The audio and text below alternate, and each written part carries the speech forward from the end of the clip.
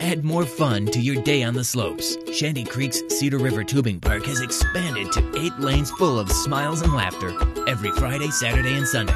All season long, it's a beautiful day at Shanty Creek Resorts.